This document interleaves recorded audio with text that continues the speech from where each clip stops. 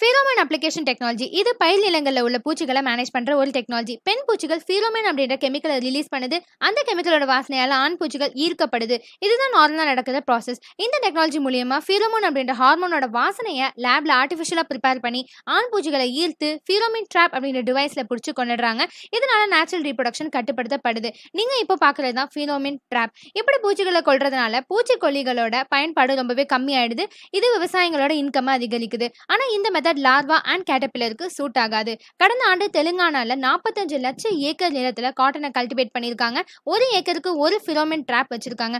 இதனால விவசாயிகள் பூச்சிக்கொல்லிகளுக்குன்னே போடுற பணத்தை நிறையவே கம்மி பண்ண முடிஞ்சிருக்குன்னு சொல்லியிருக்காங்க.